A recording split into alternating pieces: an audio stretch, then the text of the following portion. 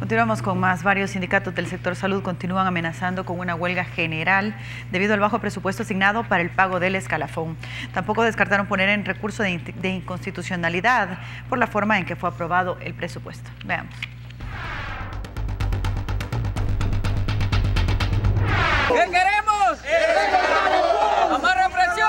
¡Más lucha! ¡Más represión! Los empleados del sector salud no quitan el dedo del renglón para buscar el cumplimiento de la ley del escalafón. Estamos exigiendo que la ministra cumpla los porcentajes que la ley del escalafón establece en el artículo 8, donde se habla de un 8% eh, con los que tienen más de, 5 años de laborar en la red pública de salud y un 5% para los que tienen menos de 5 años. En el Ministerio de Salud somos más de 32 mil empleados y en este caso ninguno está siendo beneficiado con la ley en un 100%. Dicen que la aprobación del presupuesto ha dejado varios rubros sin cubrir.